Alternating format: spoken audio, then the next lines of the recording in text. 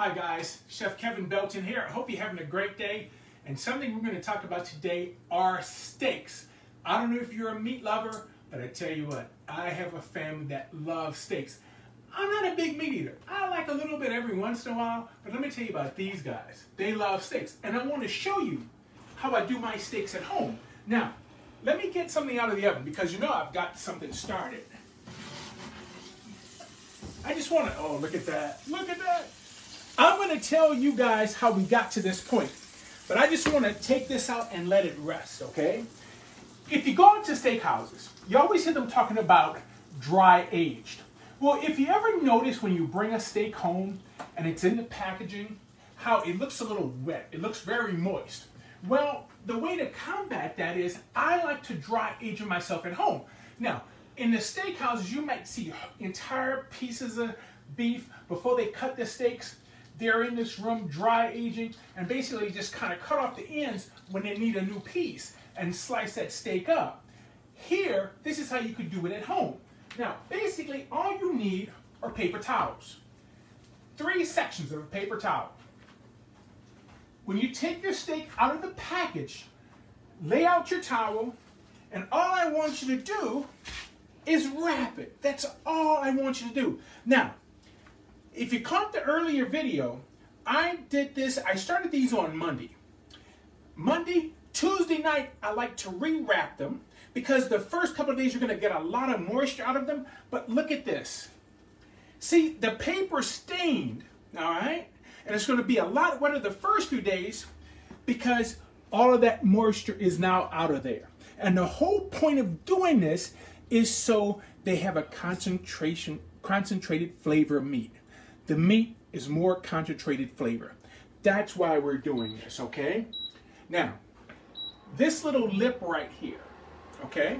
What I like to do with this, I like to cut this off. Now, a lot of times when folks cook steaks, they put, throw a little oil in the pan. I cut this off, and then I throw this in the pan to render that fat, because that way they're cooking in flavor. Now, here I had five steaks. You see, I still have three here. Now, if you're not going to cook them all, say you buy five steaks and you only need two. Once you dry age them, I can take this now, clear wrap it really good, put it in a freezer bag, and then put it in the freezer, and I can freeze them. Then take them out before you need them. Now, I like to have steaks sitting out before you cook them at least 30 minutes to 45 minutes. And what I've done with this one, you can see where I've trimmed the side, okay? And actually I have that in the pan because I'm going to render that fat out of it. And all I've done, I've taken my Creole seasoning and a little garlic powder. That's all I've put on. And the reason it looks a little wet is I drizzled a little olive oil on it. The olive oil will keep it moist in the pan. Now, you may say, I'm not using the stove today. This is an induction burner. The way induction burners work, the pan gets hot, but the surface doesn't get hot. So the reason I'm using the cast iron on here as opposed to our regular electric burner is that this will get the pan much, much hotter with the induction cooking. And you know, if you ever think about getting an induction burner, they're really nice because if you take the pan off, this will automatically cut off, okay? And what you're hearing, there's a fan underneath it just to keep it cool. But it causes the molecules in the pan, and I know this is getting to more than I, above my pay grade, but it creates a magnetism, which causes the molecules in the pan to move, which creates friction, and that's where the heat comes from. So actually the pan here is heating up, and you can see these little pieces I have in here, just rendering that fat off, all right? Now, if it doesn't give too much fat, that's okay. You can always squirt a little bit of oil but what we want to do with this, we're going to put our steak down, but before getting our steak in, let me show you what I like to do. I like to hold it by the edge, lower it down to get that side cook. It's also important when you put a piece of meat or a chicken or whatever in the pan, when you first put it down, don't move it. Give it a chance to create a crust. Make sure, you know, we have a bad habit, we put things in the pan, then we move it around and we wonder why it's starting to stick in the pan. because it doesn't have time to create its own natural crust. So I'm just sealing off the sides. And you know, here, let's just lay this down. And you know, you can hear how hot this is. Okay? This is really hot because we want to sear it. The whole reason to sear this is to lock those juices in, to lock those flavors in. Now, I'm to do this on the first side for three minutes.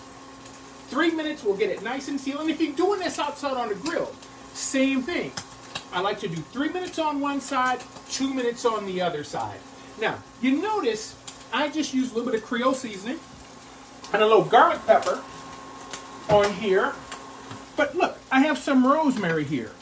If you like something like rosemary, you can lay the rosemary right in the pan or put it on the steak when you flip it over and have that rosemary underneath and it'll give off a nice flavor. All right. But you know, around here, everybody likes their steaks just with the seasoning and the garlic and that's it.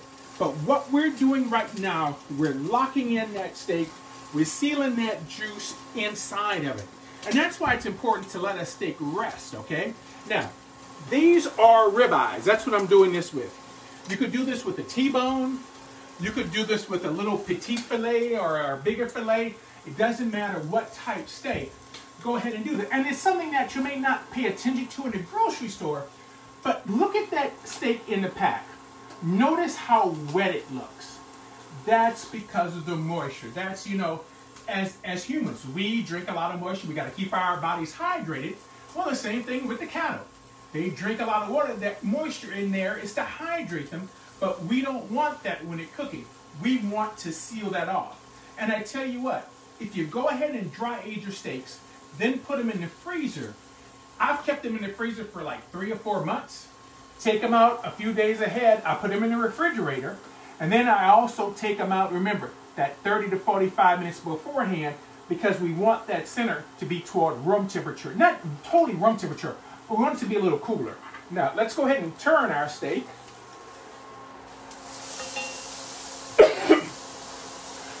Excuse me. As you see, it has that nice char on the outside.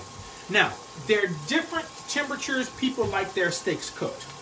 If you char the outside and the inside is super, super rare, that's what you hear, what you may hear the term either Pittsburgh or black and blue. That's with the outside crisp and it's really rare on the inside. A rare steak has an internal temperature of about 120 degrees. Medium rare to medium, medium is about 130 degrees, 140 degrees. Medium rare would be about 130. Medium would be about 140. And then there's steaks that are well done. Now, when they're well done, it's internal temperature of 160 degrees. If you don't have a thermometer, and I'll show you this with the one that we took out of the oven in just a bit, you can press on your steak. When you press on it, see how spongy that is? See how it's spongy? If you ever watch a chef in open kitchen and you see somebody cooking steaks and they start to do this, they're feeling how done it is. It's very spongy because of the fact that this is still rare. It's still uncooked on the inside. Now, the longer it cooks, the more done it gets, the firmer that steak is going to be in the middle. All right? So now that we've got this done on the first side, we've got on the second side, we can turn our burner off. I had the oven preheating at 425 degrees. Now, we're going to stick this in the oven.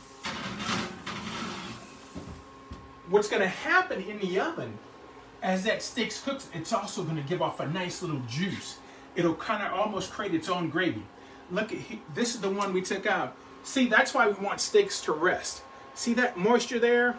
Now let's get a knife so I can cut this open and show you.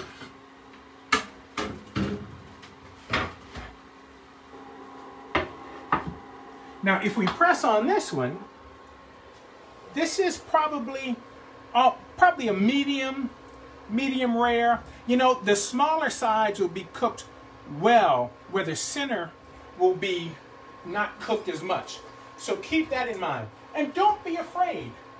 If you think the end is going to get overcooked, hey, go ahead, cut that steak off or cut the ends off. So you might cut this off and this piece off and cook them in three sections. That way it's not overcooked. But let's take our steak and just move it here to the cutting board. Now I'm just going to cut this open and let you look at that inside there. Can you see that inside? That's a medium that's a that's a medium steak where it's still a little rosy. Still have a little bit of rosiness in there, but you can see coming from the outside into where we seared it, this is well cooked. This is still a little rosy, and you see the second side is not cooked as much as the first side because we left it longer that first time. So remember, if we want it rare in the oven, roughly 10 minutes.